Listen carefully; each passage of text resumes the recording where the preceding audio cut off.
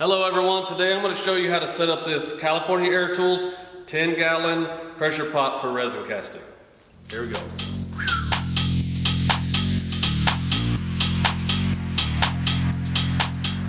Several months ago I did a video on this Harbor Freight paint pot and I converted it into a pressure pot for resin casting. I'll put a link to the video up here. There's nothing wrong with this. This is a real cheap solution on having a pressure pot for resin casting. I just wanted a bigger one. So this is the one I got is the California Air Tools. Uh, 10 gallon one, this is two and a half gallon. Now this one works, but this one has some options on it that are better for resin casting, makes it last longer or more convenient or whatever. One of those is how this lid tightens down. It has a bolt with a wing nut on it and it comes and there's a big washer under here and it is going to apply even pressure to this lid and there's more anchor points so it's going to hold it down better and last longer. This one here has this little uh, C bracket here with a bolt through it and this bolt just stabs into the lid and it marks up the lid and it's probably going to distort it over time or whatever. Um, this also has places for you could put casters on this or you can just bolt it to a table so it doesn't move around when you're trying to tighten it like this. And then, so you got your wing nuts, you got your feet, and then at the bottom you can see that this isn't a flat surface. This is, uh, this curves down. So when you put things in there, it's uh, either you want to put something flat in this or you want to position it to where it's level. This one here has a flat bottom in it. So you're not going to have to worry about placing it in, in, a certain way or putting something in the bottom for it to, to be flat. So now I've just discussed the differences. The obvious one is going to be the size and then there's a little options. This is a good pressure pot. It's cheap and it'll get you into it uh, for, for less money, but it, you get something bigger or a little more higher quality. We're going to talk about this and we're going to get this ready for uh, pressure for to be a pressure pot. These are all the things we're going to need to convert this thing. First thing is a 3 inch long 5 8 inch bolt and a 5 8 inch nut, two metal 5 8 washers, two rubber washers. You can use rubber or the plastic ones. I found the rubber ones. This is a quarter inch a quick connect fitting for your air. That's how we're going to get air in there. There's a quarter inch threads, pretty common. This is pipe thread sealant. You can use this or Teflon tape. I'm using this. These wrenches here, they're adjustable. Most people are going to have this. It's always better to use a wrench that fits the nut or bolt, but everybody should have those. And then we have a pipe wrench and a number three Allen key. And I'll show you what that's for in a minute. I'll have links below to everything we use in this video. Um, go check it out and let's start building this thing. Obviously I've already taken this out of the box but I haven't done anything to it. So we're gonna open this up and I'm gonna show you how it's supposed to work originally and then I'm gonna show you what we're gonna do to change it into what we want. So here we go. First we'll take the lid off. The first thing you're gonna notice is we have a pipe here and then a rod here with a little fan thingy on it. This is a paint agitator and there's a handle that comes all the way, it goes all the way through here and spins like that and that's supposed to mix your paint. And this right here is a siphon tube for your paint to go out of this valve right here, and that goes to a spray gun. And that's about it. Here's your regulator, and air goes in here, and you regulate the air pressure. Here's your pressure gauge, and that regulates the pressure in the tank. So what we're gonna do, all we wanna do is anywhere there's a place that air can get out, we wanna plug it. We wanna make sure that air can't get out but it can get in. We want to be able to regulate it and we want to be able to, we still want our pressure gauge. So the first things we need to do is get rid of this pipe and this rod. So that's where the, the pipe wrench is going to come in handy for this. One down. Well, this thing here, there's a collar right there and a collar right here. And they have that small Allen wrench that I mentioned earlier. That's going to go in there and we're going to take it off. So now we made a huge hole right here by taking that rod out. Both sides. This is big hole. So our 5 8 inch bolts that we talked about a minute ago, that's what we're gonna do. We have our bolt and you got a metal washer. And then we're gonna put a rubber washer on it. In that order like that. We're gonna put it right through the top of this where we made that hole. We're gonna do the other side opposite. We're gonna go rubber washer and then metal washer.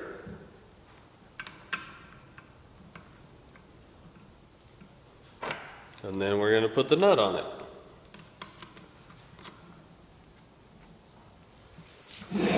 We're gonna get our adjustable wrenches that we talked about earlier and actually need a bigger one for this other side.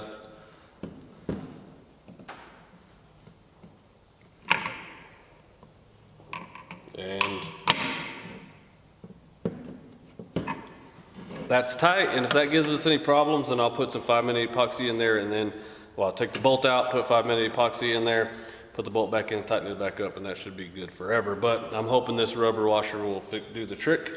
We'll find out in a second. The other thing, we took the pipe out of right here, and on this side, on this side right here, this is the part that was supposed to go to the paint sprayer. Um, I could plug that, I could take this out and plug it, but I think this will be beneficial for us to, it'll let air out faster, um, to just leave this valve in here, and that's how I'll take air out. This, this right here is your pop-off valve, and that is adjustable. It's supposed to be set at 60 PSI. So we'll see about that when we get going. This valve right here is supposed to let the air out, but I think it'll do it slow. That's why I want to keep that other one on there. And then we have this right here. Here's our regulator. This black thing coming out here is our regulator. And it regulates by turning that back and forth. And then here's your uh, hose in, hose in. And then, but I think we can do without this one. We have this on and off. This will control the air going in. And I think we can get rid of this and we'll just stick that quick connect coming off of here. So I think that's what we need to do right now.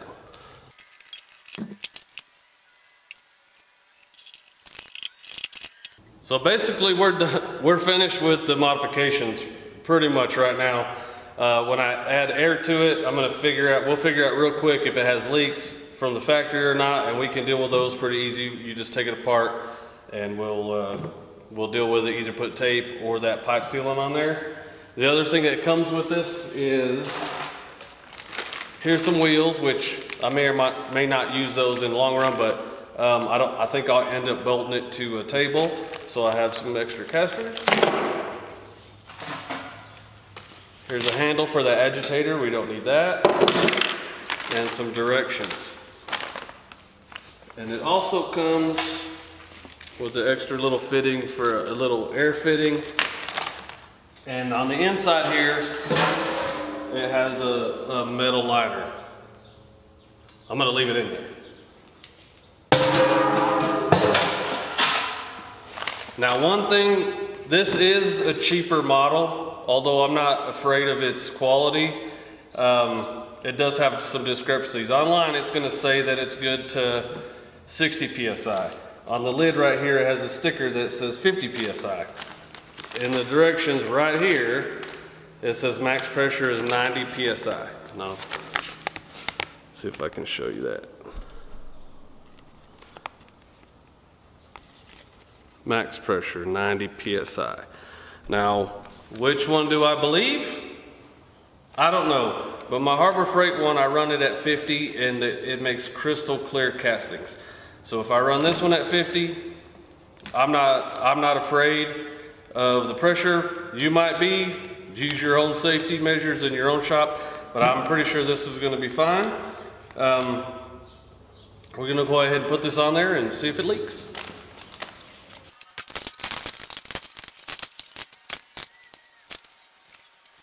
I just did a quick little check to make sure our valves, all the valves are closed. Uh, this one's closed and nothing to it but to do it. And put your safety glasses on or the trolls will get you. And just put some air to it.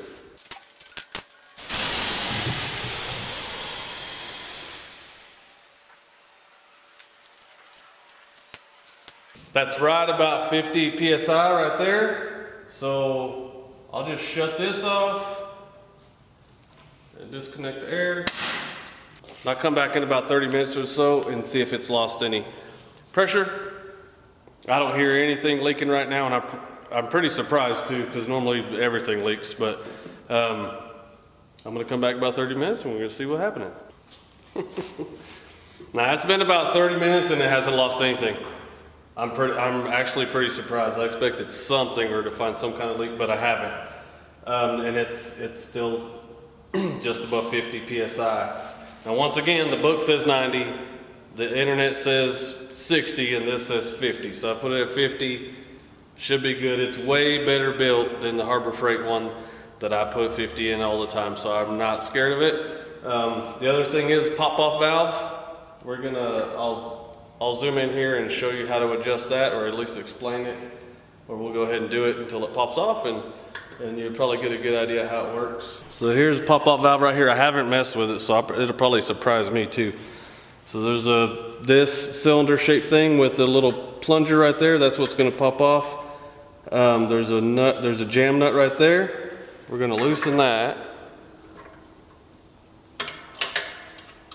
And then if you screw it out, there's going to have less tension on the spring in there and it should hear that?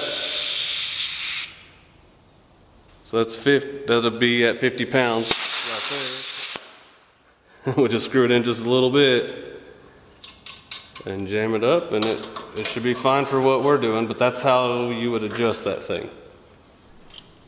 This right here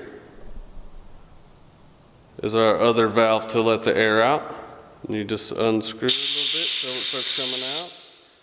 But I didn't think that was fast enough. So this one here